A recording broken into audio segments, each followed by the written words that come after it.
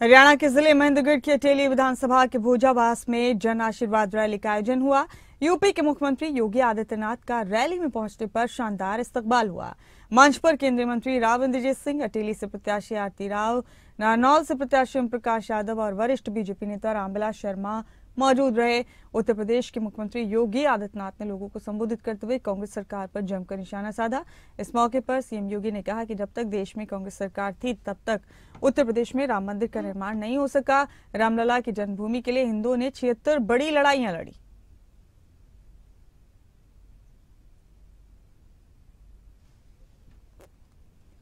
तो सरकार बनाने के लिए बीजेपी के प्रत्याशियों को भारी बहुमत से जिताने की अपील की।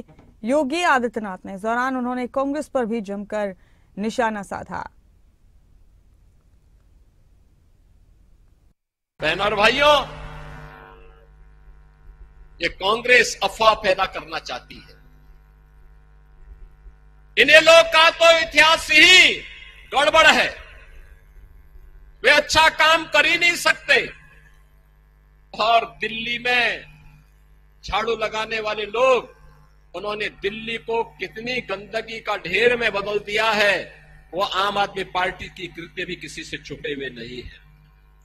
बहन और भाइयों, केवल आपसे ही कहने के लिए आया भाजपा को फिर से सरकार बनाने के लिए आवश्यक है एक एक प्रत्याशी भाजपा का चुनाव जीत करके जाए एक एक प्रत्याशी चुनाव जीत करके जाए। आप लोगों के बीच में तो रहता आया हूँ। आप लोगों ने लोकसभा के अंदर भी मुझे इस हल्के से दो बार जिताया है। और जब मैं गुड़गावा चला गया था तो गुड़गावा के अंदर भी अपनी अपनी रिश्तेदारियों के अंदर जाकर के आप लोगों ने मेरा और मेरी पार्टी का सहयोग किया है।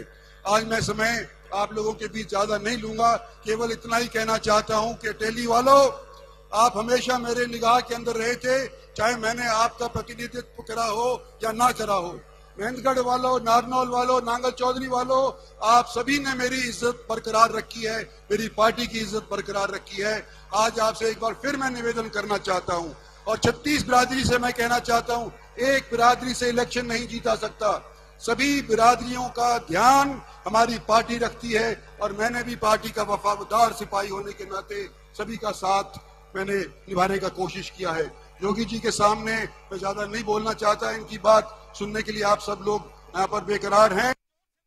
आप सभी ने मुझे मुझे पिछले 20 दिनों में बहुत प्यार दिया है। जहाँ भी गई हूँ, इतना सारा आभार प्यार मिला है मुझे और मुझे पूरी आशा है कि आने वाली पाँच तारीख को ये प्यार वोटों में तब्दील ज़रूर होगा।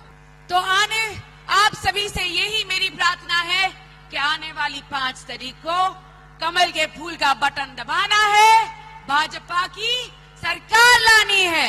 धन्यवाद आप सभी का।